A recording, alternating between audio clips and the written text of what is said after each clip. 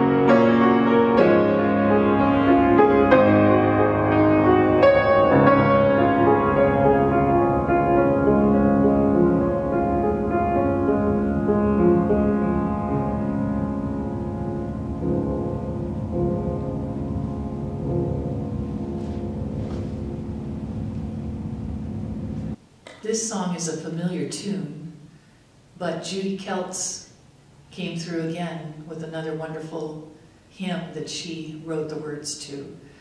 The song is In His Time, but the words she wrote in the song is In This Time, and I wanted to share it with you.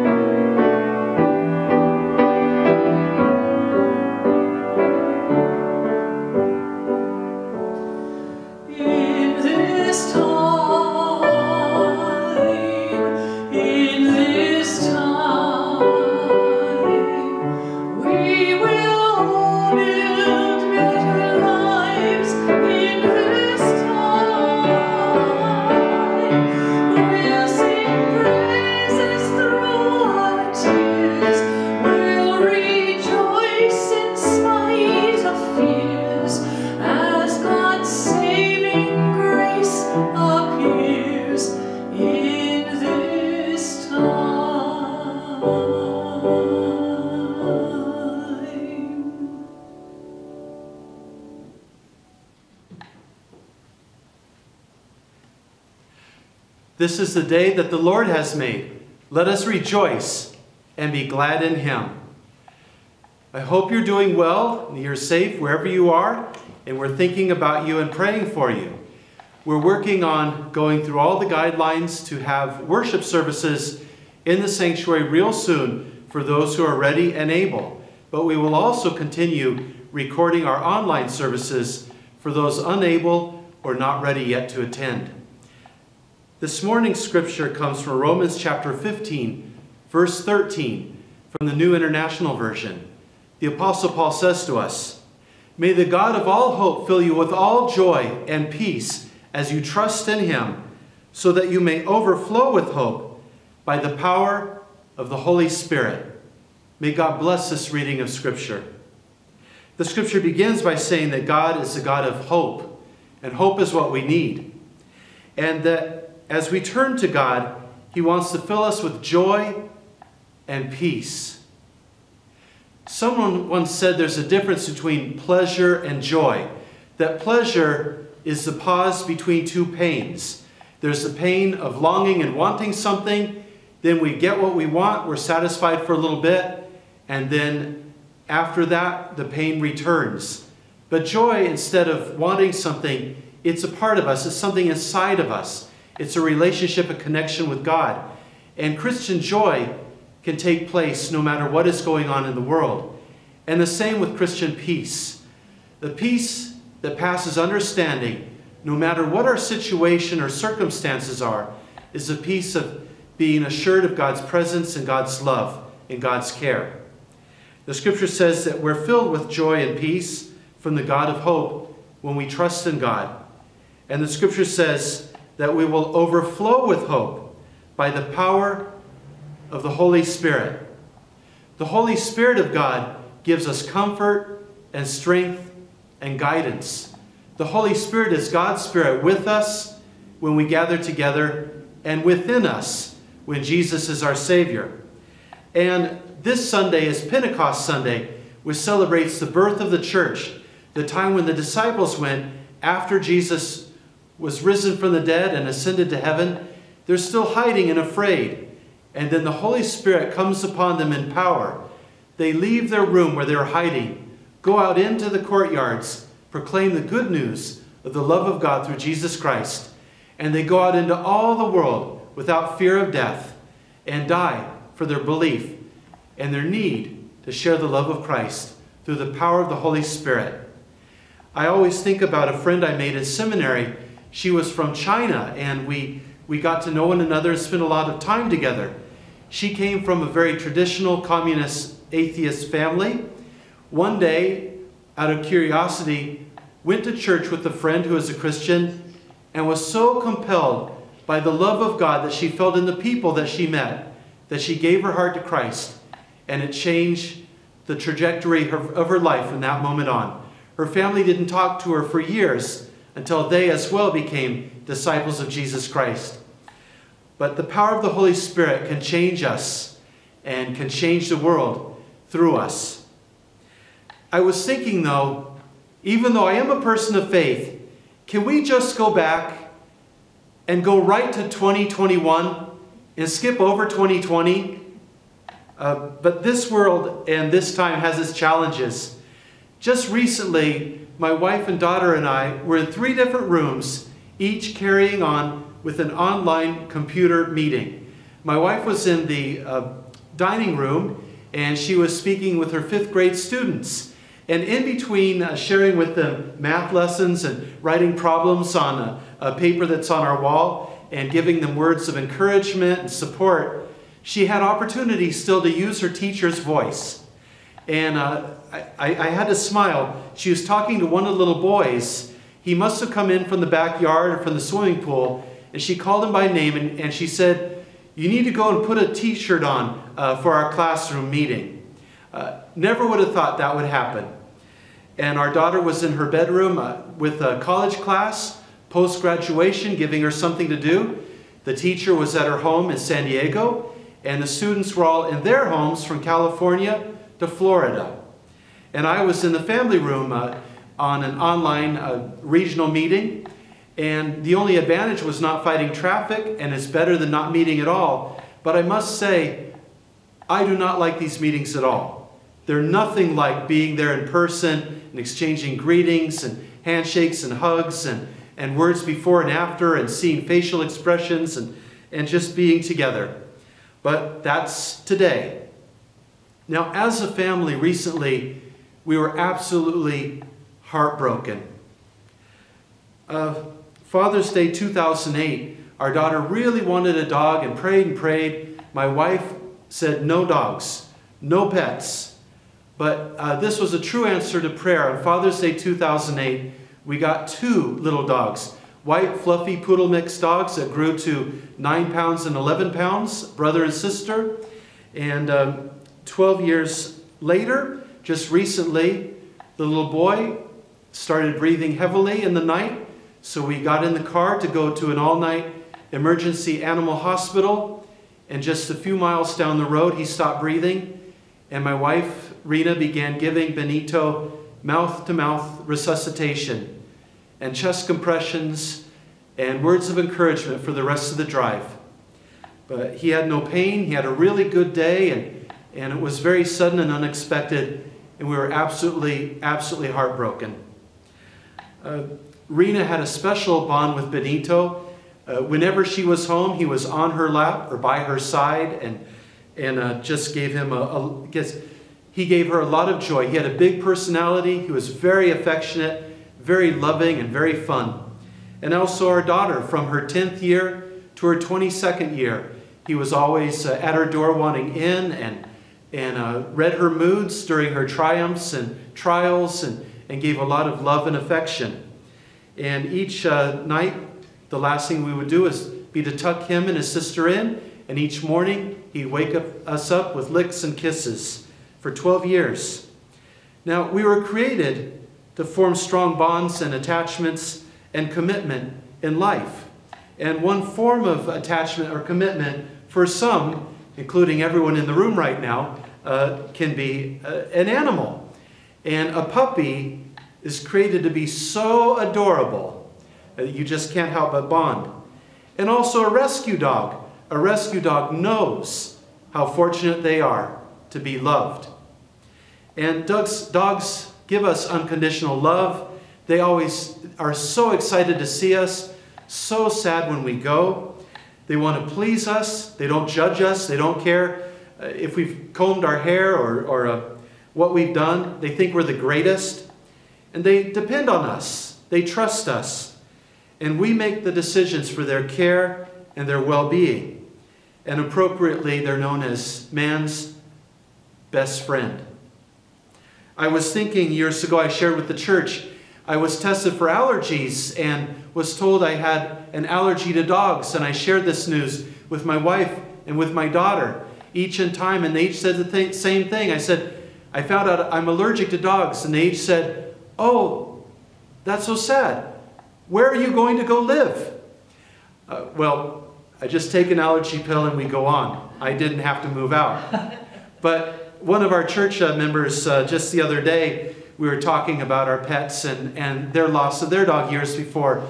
And they were jokingly saying that they said to their spouse, it would have been easier to put down one of their adult sons and their little dog. Jokingly, of course, but, uh, but for many, that connection or, or bond and attachment has uh, sometimes taken place with a beloved pet. Uh, but we are created and formed to have strong bonds and attachments and commitments with one another. Sometimes that bond is, is the relationship of marriage, or a child to a parent, or a child to a grandparent, or those attachments and bonds are with, uh, with our closest friends or other people in life that have touched us. And for many of us, those bonds are strong with members of our church family, and we're missing one another at this time. I was thinking this is the only time in life that 10 weeks have gone by where I've not made a new friend. This is the only time where 10 weeks have gone by and I've not gone to a friend's house or a church member's house for fellowship and for dinner. And if you're watching, I enjoy all dinners, all types and, and shapes. And I, I honor the host and hostess by eating a plate and another plate and, and another. Uh, but, uh, but it's also the first time in 10 weeks that we haven't had someone new or a new family coming to be a part of our church family. Uh, and now, even in public, people don't know that I'm smiling at them through the mask. They probably think I'm scowling or disinterested. You can't tell and, and don't know. So perhaps on the end of this, we'll appreciate the hugs and the handshakes and time of fellowship all the more when, uh, when we can do all of those things. And that day will come. But I've talked about uh, connections and commitments and attachments, sometimes for many with, with a pet, a beloved pet, and hopefully with human beings and members of your church family.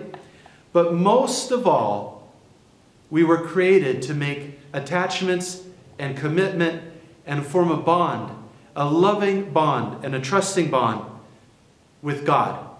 That is what we were created for. We were created out of love by God to, to know joy and pleasure in a connection with God and life with God.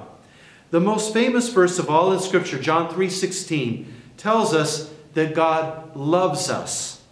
And that's why God sent his son Jesus Christ into the world. Jesus came just to be with us and also to show us how to love and serve and then to die in our place and rise for our salvation and rise not only to give us new life one day in heaven, but new life right now as we live for him. And so I was thinking it took 10 plagues for, to, for God to get Pharaoh's attention long ago. And the 10th plague was by far the worst. But it didn't take long for Pharaoh to harden his heart again in disobedience to disastrous consequences one more time. Now, I'm not saying that God gave us the pandemic. I, I don't know that, but I do know that God takes whatever situation we find ourselves in and uses them as an opportunity for how we respond. And uh, I hope that people are turning back to God because that will make all the difference. God wants to love us and bless us, forgive us, free us from things in the past, give us strength and give us purpose, and touch our lives in beautiful ways beyond measure. Pentecost was a time that the Holy Spirit came upon the church in power and as I said, the disciples went from fear and hiding to going out to all the corners of the earth to proclaim the good news of the love of God through Jesus Christ with no fear of death because they could do nothing else but share how good our God is. It's amazing how much God loves us. Rather than run to Him, we often run away from Him. Rather than seeking His approval, we often choose rebellion. Rather than trusting in Him, we trust ourselves. But God just keeps loving us and giving us chances to turn to Him. And when we do, He wants to pour so much love out upon us because all He does is wait for us to turn to Him so that He can be with us and guide our lives in beautiful ways. We worship an amazing God. You are on my mind and in my heart and remember it in my prayers until that time we can meet again. But until that time, remember, we're called to connect with one another. It's more challenging now, but you can still call and write and email and or uh, drive by, honk a horn, and wave through the window, or knock on the door and run away to the sidewalk where it's safe. Leave a package, but whatever, depending on how your loved one feels and how comfortable they are. But uh, we're connected and created for connections with one another and a strong connection is as a church family. We love each other and serve together and, and joke and have fun and, and live life. But don't forget, most of all, that connection with God. It'll see you through this time, and it'll see you through a wonderful life with meaning and purpose and service until that time we go to be with our Heavenly Father. Be safe and be well. Amen.